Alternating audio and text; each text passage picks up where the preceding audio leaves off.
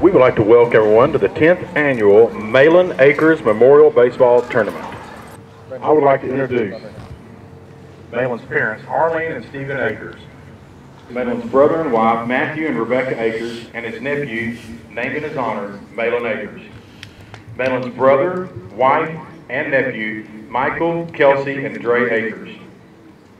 As a special surprise to Mahlon's family, we would like to welcome former players, coaches, and friends of Mahlon. As you can see, Mahlon touched the lives of many people, and it is our privilege to honor him through this tournament.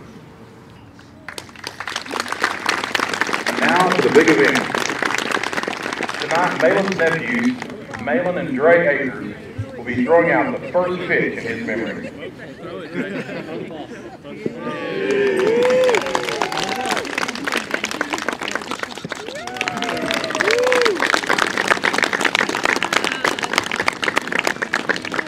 Mahlon, you will never be forgotten.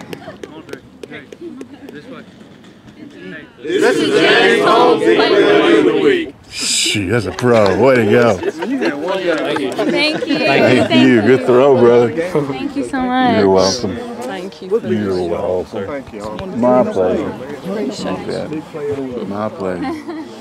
Hey, brother. Thank Good to you.